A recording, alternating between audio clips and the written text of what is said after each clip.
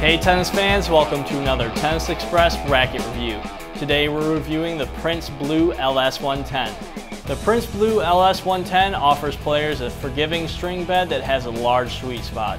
The Blue LS110 is also an extended length frame at 27.5 inches long. This extra half inch provides players with an extra power and spin over similar standard length frames. At 10 ounces strung and 3 points headlight, this racket even with its extended length, is still easily maneuverable around the court.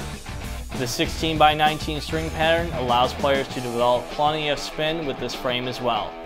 I really enjoyed playing with the Prince Blue LS110. Typically I use rackets in the 90 to 100 square inch frame size, but this 110 square inch racket played similar to those with the smaller head size. The extended length and open 16 by 19 string pattern helped me generate spin and power when I needed it. The 10 ounce strung weight and headlight balance came together to make a racket that was maneuverable but I didn't feel whippy in the hand. The Prince Blue LS110 is a great choice for players in need of a game development frame that provides power in a light, forgiving package. The 110 LS is another light but not too light frame. Weighing at 10 ounces strung, it is much more stable on contact than I was anticipating, and I enjoyed having a little bit of extra momentum on my serves, thanks to the extra half inch in length. Though the 110 is probably better for players with flatter strokes, I was able to produce spin when I needed it.